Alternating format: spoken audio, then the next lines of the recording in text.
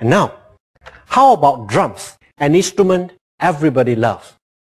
We have beautiful drums instruments right in the product case. Listen to this. Bass drums, snare drums, crash cymbal, hi-hat when it is closed, and when it is open, a crash cymbal, and small drums called tom-toms.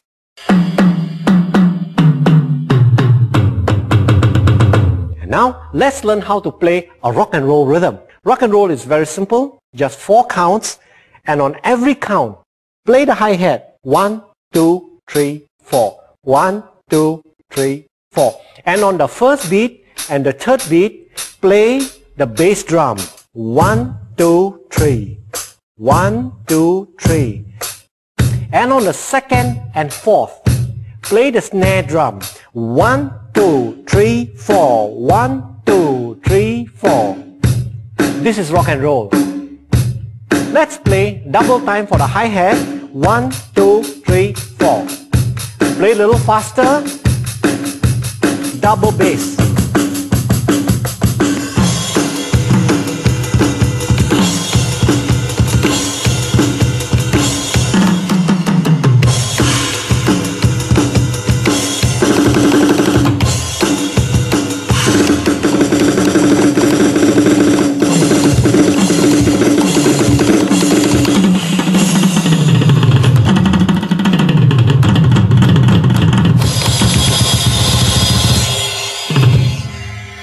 There you have it, ladies and gentlemen. This is a fantastic product, the Creative Product.